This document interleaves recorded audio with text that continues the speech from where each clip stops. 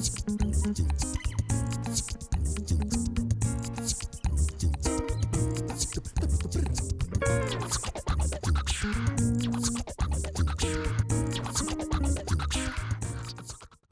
cordiale saluto, ben trovati a Da Tu per Tu, la trasmissione realizzata in collaborazione con il Consiglio Provinciale di Trento.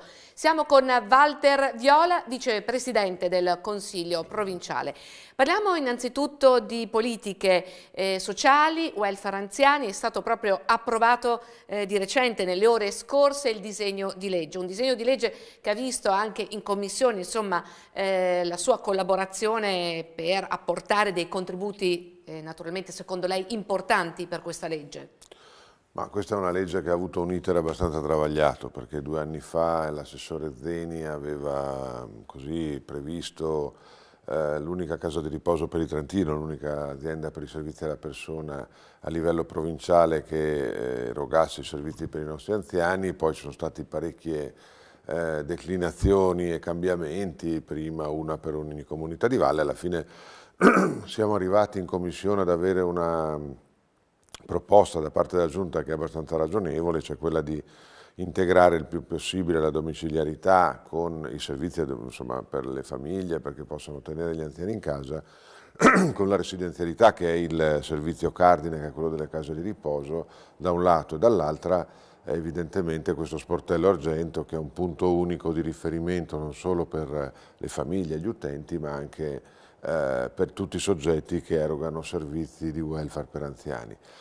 Oggettivamente non è una vera riforma, è una, un riordino, mette assieme, va oltre la frammentazione, mette assieme un po' di eh, così novità che si sono poi rilevate utili in tutto il dibattito che c'è stato eh, da due anni a questa parte su tutto il settore, eh, anche da parte mia sia in commissione che in aula, soprattutto in commissione, alcune proposte sulla valorizzazione del, delle PSP, quindi delle, dei soggetti e dell'ente anche rappresentativo dei, delle case di riposo, eh, piuttosto che dei soggetti del terzo settore, che sono quelli che soprattutto hanno in mano la domiciliarità, insomma eh, miglioramenti a questo livello ce ne sono stati.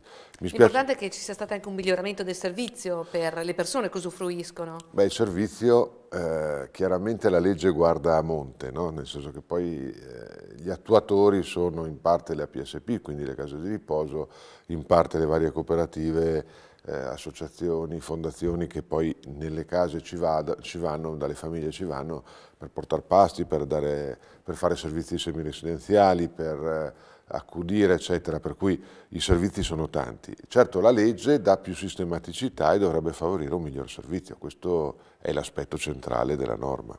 Rimaniamo sempre in tema di politiche sociali perché presto andrà in discussione anche un altro disegno di legge eh, il dopo di noi, sappiamo insomma eh, destinato a migliorare la qualità della vita delle persone eh, che eh, in qualche modo hanno a che fare con la disabilità. È corretto così? Sì, l'anno scorso eh, a livello nazionale è stata approvata una legge, la 112, appunto sul dopo di noi, che prevede che per le famiglie con disabili eh, che, avanzano con l'età ci siano certe forme di aiuto. Perché? Perché evidentemente eh, dopo una certa età le famiglie fanno fatica ad accudire i disabili e c'è bisogno di una strumentazione anche nuova, innovativa, eh, perché in qualche modo si, po si, possa dare una dignità di vita, di eh, più autosufficienza possibile, di più indipendenza possibile a queste persone.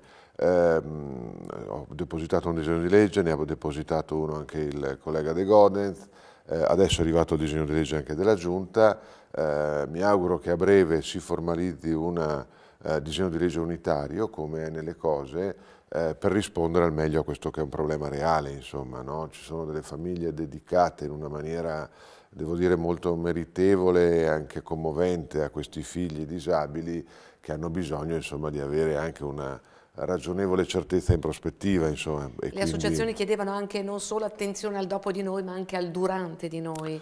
Sì. Hanno proprio di recente fatto un convegno. No, allora lì devo dire che, eh, come spesso accade, le norme vengono dopo la realtà, no? anzi quasi sempre così, se non sempre.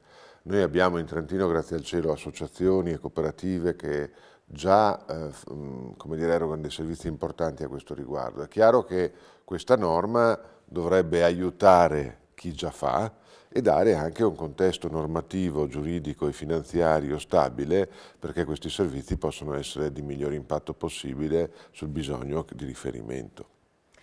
Prima di chiudere abbiamo l'intervista, sentiamo eh, l'argomento appunto dell'intervista di oggi e poi la risposta del vicepresidente. Perché non date più spazio ai giovani aprendo nuove attività, nuovi centri? Ecco qui la richiesta. A dire la verità noi abbiamo una legge sulle politiche giovanili che è abbastanza innovativa, con eh, una marea di interventi su svariati fronti. Dopo bisogna capire cosa vogliono dire centri per giovani. Centri ce ne sono da Cavalese a Tione, passando per tante valli. Eh, di certo l'attenzione ai giovani non è mai troppa, anche perché l'investimento sui giovani è l'investimento sul futuro e tutto sommato la politica non può che guardare ai giovani come proprio target di riferimento. Abbiamo parlato di anziani fino adesso, però è indubbio che guardare lontano vuol dire guardare alle giovani generazioni, a chi il Trentino lo prenderà in mano tra qualche anno. Eh, si può fare di più, certo, io sono convinto però che poi eh, nella logica delle cose eh, come dire, i ruoli si alternano eh, sono chiari anche i ruoli, insomma voglio dire, un giovane prenderà le sue responsabilità quando sarà il momento, sia adeguatamente eh, formato, educato e educato in senso ampio, eh, che, e, a questo livello insomma le strumentazioni sono molte. Di certo c'è un concetto di comunità che viene prima e su questo evidentemente la politica ha le sue leve, ma la comunità le proprie, per cui è un lavoro d'insieme con tutti i soggetti di una società viva quale la nostra, perché i giovani abbiano spazio oggi e responsabilità domani. Dunque sinergia e rete di fatto, certo. insomma le due parole chiave. Grazie al vicepresidente del Consiglio Provinciale di Trento Walter Viola, per A Tu per Tu per questa puntata è tutto, l'appuntamento è ad una prossima puntata. Grazie.